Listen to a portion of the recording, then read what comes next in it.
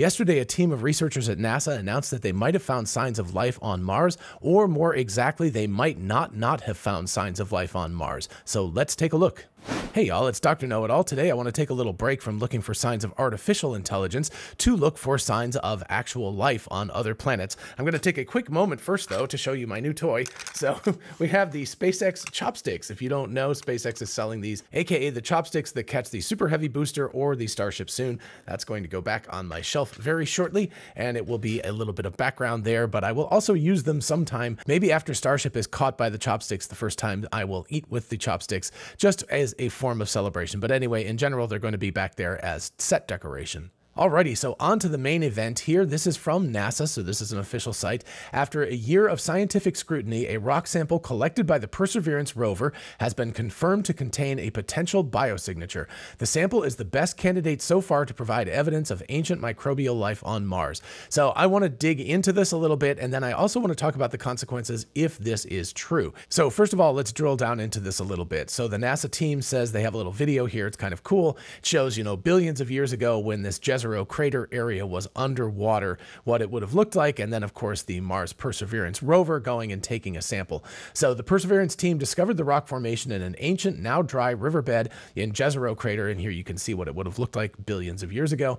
And instruments revealed that it's composed of clay and silt. On Earth, these are excellent preservers of past microbial life. And then down here, NASA is making this data available to wider science community for further study to confirm or refute its biological potential. And all of the brouhaha is over this image here, plus some samples that were actually analyzed by the rover itself. And in particular, it's these sort of leopard spot looking things. That's what they called it, not me. But anyway, looks blotchy and everything. But the idea here is that these could be signs of microbial mats or something along those lines. And this was captured in a water rich environment and then turned into sedimentary rock here. So if you've read any of the headlines out there, a lot of them are like life on Mars, things like that. So I want to drill down into this and get into the original paper. But first, I'm going to look at this.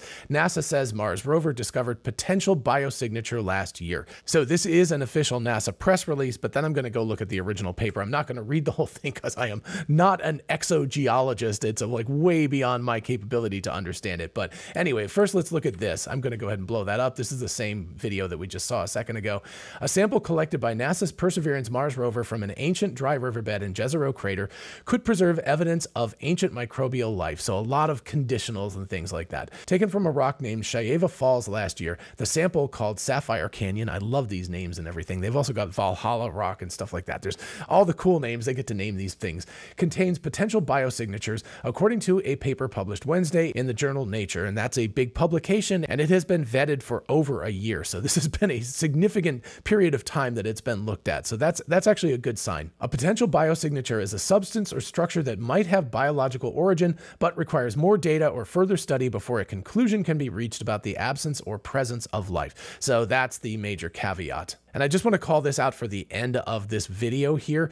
Acting NASA Administrator Sean Duffy said NASA's commitment to conducting gold standard science will continue as we pursue our goal of putting American boots on Mars's rocky soil. Then, of course, we've got another of these images here. Perseverance came upon Cheyava Falls in July 2024 while exploring the Bright Angel Formation, a set of rocky outcrops on the northern and southern edges of Neretva Vallis, an ancient river valley measuring a quarter mile or 400 meters wide that was carved by water rushing into the Jezero crater long ago. So it's really almost without doubt now that there was active water on the surface of Mars at some point in its history. And as it turns out, the researchers believe this formation was actually formed relatively recently in, you know, in geological terms. So it's actually very cool because that means that water might have been on the surface of Mars more recently than we expected it to have been. Continuing on here, with the publication of this peer-reviewed result, NASA makes this data available to the wider science community for further study to confirm or refute its biological potential. So that's really cool because, of course, extraordinary claims need extraordinary proof. So it's very cool that they're allowing other people to look at this to refute it if they can, right? They, if they can refute it, that's great. But if not, that points to signs of life on Mars.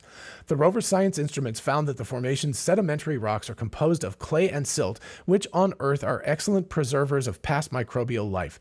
They are also rich in organic carbon, sulfur, oxidized iron or rust, and phosphorus. And just as a quick point, rust has to form in the presence of oxygen. It's iron plus oxygen. So that's very cool. That means there would have been more oxygen on the planet at the time when this rust actually developed. Then we get a quote here The combination of chemical compounds we found in the Bright Angel Formation could have been a rich source of energy for microbial metabolism. So that's great too. So not only does it look like it's microbes, but also this would have been a source of energy for them, which of course is rather important. Have to have energy to live, said Perseverance scientist Joel Hurowitz of Stony Brook University, New York, and lead author of the paper. And just look at how many authors there are when we get to it in just a second.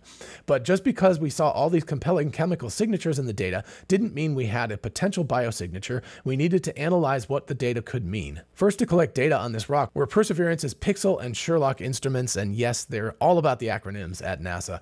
While investigating Cheyava Falls, an arrowhead shaped rock measuring 3.2 feet by 2 feet or 1 by 0.6 meters, they found what appeared to be colorful spots. The spots on the rock could have been left behind by microbial life if it had used the raw ingredients, the organic carbon, sulfur, and phosphorus, in the rock as an energy source. In higher resolution images, the instruments found a distinct pattern of minerals arranged into reaction fronts, in other words, points of contact where chemical and physical reactions occur, the team called leopard spots. The spots carried the signature of two iron rich minerals, vivianite, hydrated iron phosphate, and greigite, I think, iron sulfide. Vivianite is frequently found on Earth in sediments, peat bogs, which of course is a sign of active life and water, and around decaying organic matter. Similarly, certain forms of microbial life on Earth can produce greigite.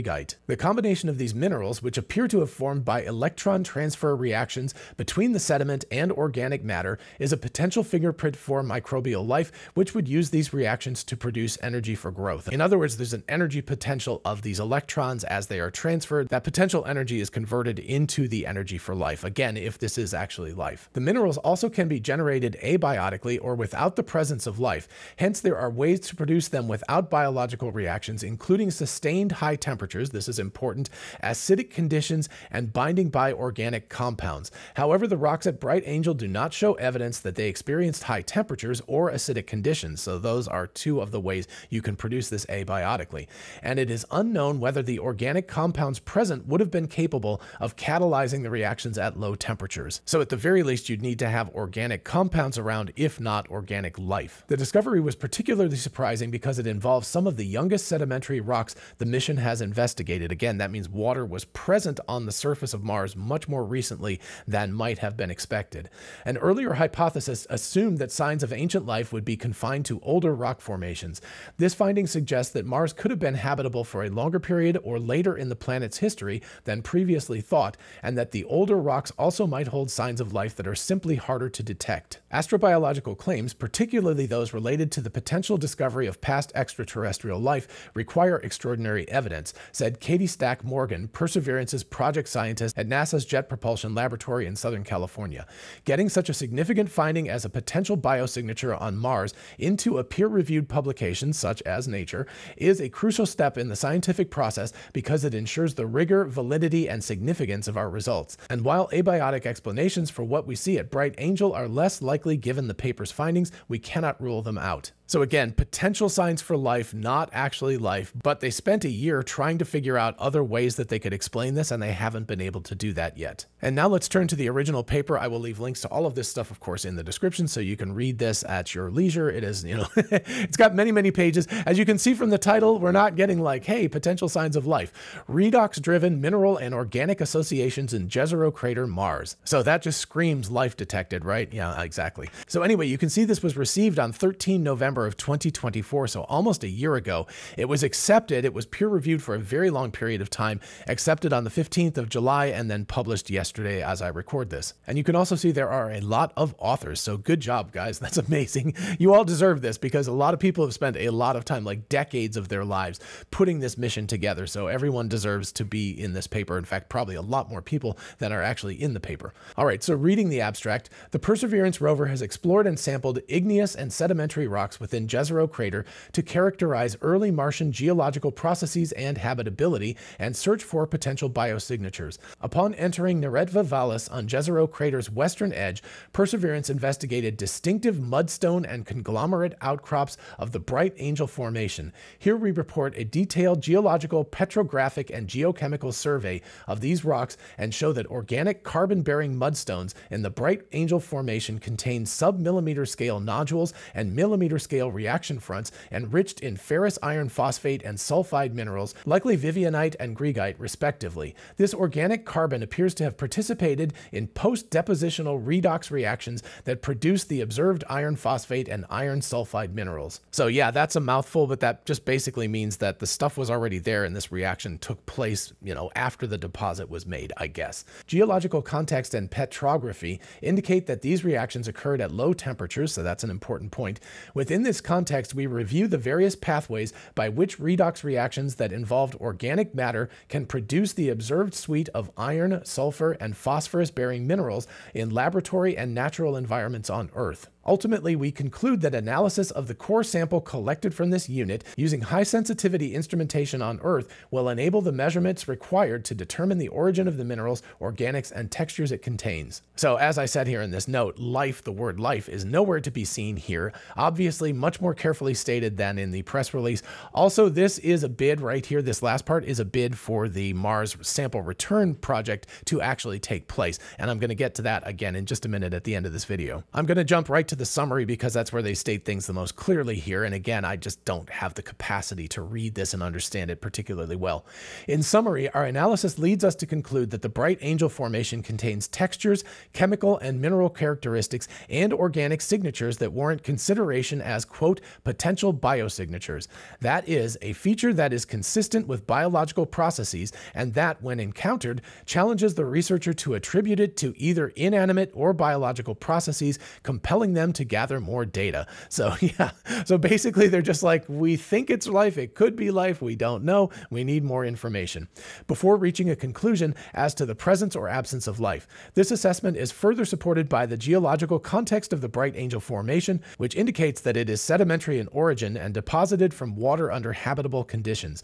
Many significant questions remain about the origin of the nodules and reaction fronts encountered by Perseverance. We suggest that further in situ laboratory modeling and field field analog research into both abiotic and biological processes that give rise to the suite of minerals and organic phases observed in the Bright Angel Formation will improve our understanding of the conditions under which they formed. Ultimately, the return of samples from Mars for study on Earth, including the Sapphire Canyon sample collected from the Bright Angel Formation, would provide the best opportunity to understand the processes that gave rise to the unique features described here. So, a lot of hemming and hawing. The scientific process is very, very careful, especially when it comes to major claims like this, if this does hold true, there are Nobel Prizes involved for the lead authors in this research project because this is, I, mean, this is bigger almost than anything that we've discovered ever if we discover life on another planet. So as I responded to this article yesterday, if this holds true, two things follow. Number one, we must consider why the galaxy isn't teeming with obvious technological life. A great filter later than abiogenesis is then likely. In other words, life forming on planets all around the universe would be very likely, but technology, getting to the stage of technology, multicellular life that is intelligent and is able to build technology, there's some filter between the genesis of life and getting to that stage that we haven't seen, or it's a dark forest out there and nobody's showing themselves to us.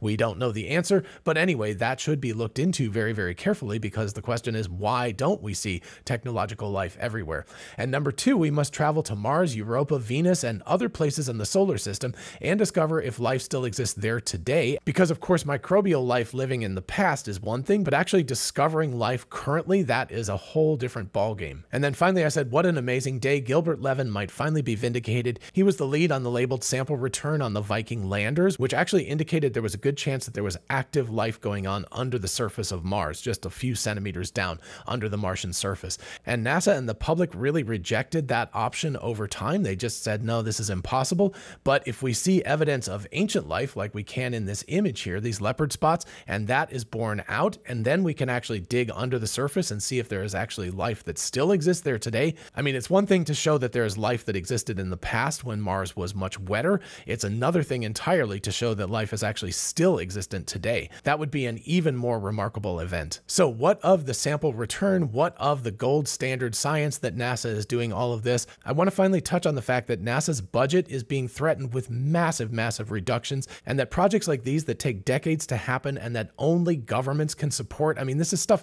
private companies are just not going to do this kind of thing. It's science for science's sake. There's no monetary return for any of this kind of stuff. SpaceX is the only exception, potentially with the chopsticks. They're about the only exception that might actually do this for science's sake. But in general, only countries and very, very wealthy countries can support these kinds of insane missions that can take 20 plus years to come to fruition, to go out and explore the reaches of our solar system just to find out what is out there. These kinds of missions need to be supported. Science needs to be supported. The sample return mission needs to be supported. Getting human beings to Mars to actually look around and see if there is actually life, either ancient fossilized life or current life that is actually still in existence on the planet. These are all incredibly important tasks. And I think that we as a society should push our government very, very strongly to continue supporting these. They cost almost nothing compared to the US's budget overall, and they provide incredible returns, both in terms of monetary returns. There are direct returns from this kind of stuff, but also just in terms of science and discovery and increased knowledge about our universe. So that's my pitch to all of you, especially in the United States, who can write your senators and Congress people and ask them to support the sciences, because this kind of stuff couldn't happen without science support for decades at a time. It's not something you just generate in six months or a year. It's something that takes decades to come to fruition. Alrighty, folks, that's what I've got for you today. Let me know in the comments what you think about all of this. Do you think this is actually signs of life or something entirely different? I would love to know your thoughts on the topic. And while you're down there, if you don't mind liking the video, it really helps out so other people can see it. And consider subscribing for more of this kind of content. And in the meantime, I will see you in the next one. Bye bye.